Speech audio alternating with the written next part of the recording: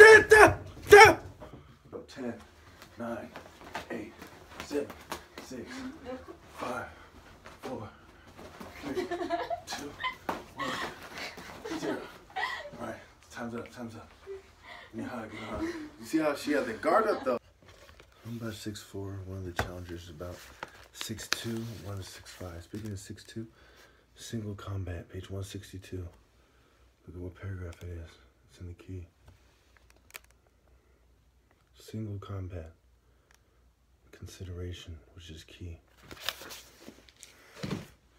Think the left side in line with the heart. The heart, my brothers, the heart. Speaking of the heart, when Ra's staff is complete and it's pointing in the right direction, I guess it's solidified. He's pointing right at his left side of his chest, which is his heart. Do you have goat feet? Lead feet. Are you hard to take down? Are you maneuverable? How do you take enemies down? We have to consider all of these things when we do the considerations. When all is said and done, one must move quickly and strategically.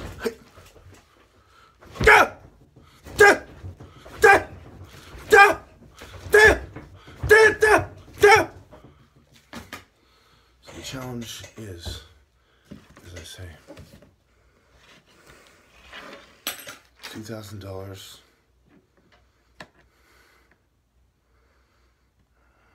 I'll show you the money right now, but it's two thousand dollars if you win that day, fifty just to show, and then another two thousand dollars another day to keep everyone honest. Here, let me show you.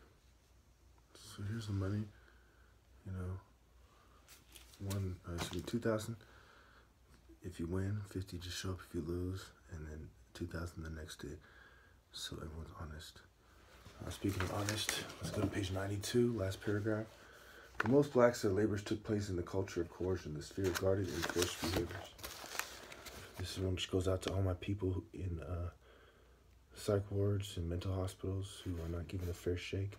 Whites, Asians, natives, Semitics, you name it, blacks, people of every race. You know, I'll name one by one because I know they struggle individually, as groups, and as the human race. So, seven will eat nine.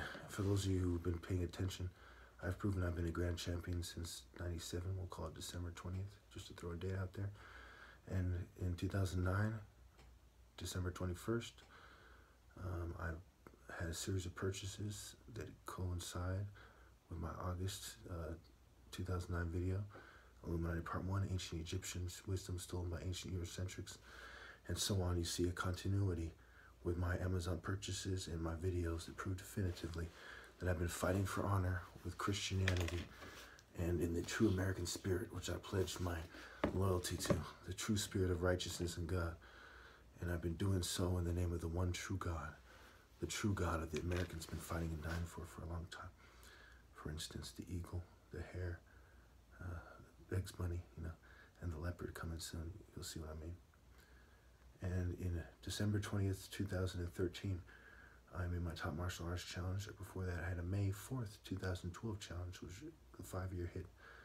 So the four years from 2009 to 2013, now the four years from 2013 to 2017 when I reached December 21st of this year. Wish me luck. Thank you.